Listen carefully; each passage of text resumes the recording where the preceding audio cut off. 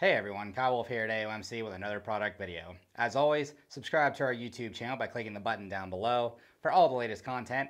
And of course, check out all the great products, parts, and accessories at aomc.mx. And while you're there, take advantage of the AOMC Trail Mail, free shipping and handling on orders over $99.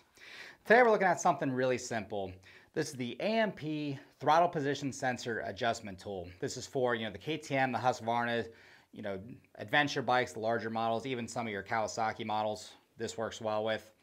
And all it does is, this is you know, designed to help eliminate, you know, popping on deceleration, increase your throttle response, you know, reduce or eliminate flameouts, easier starting.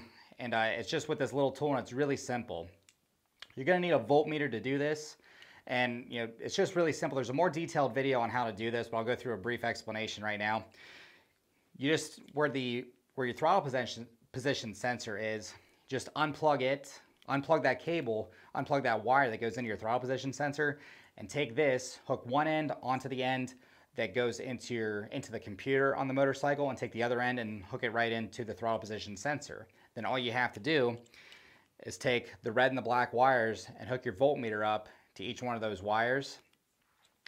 And then you see how much volt you're reading once your motorcycle is on, once you turn the key on, or once you uh, bump start it, or when the bike is running if you have a Kickstarter. You know, it's different for each model whether you have, you know, a key, you know, without a key, or a Kickstarter.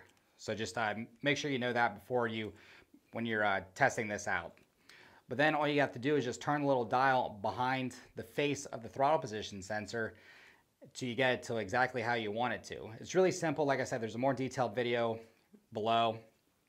And uh, takes takes a couple of a couple of minutes, five minutes at the most. Really simple, really easily. And then as soon as you get done adjusting how you want to, unplug this, plug everything back together, and you're ready to go. So it couldn't be any easier to do this. Couldn't be any simpler. You know, it's just this little cable right here, this little this little uh, couple of wires right here.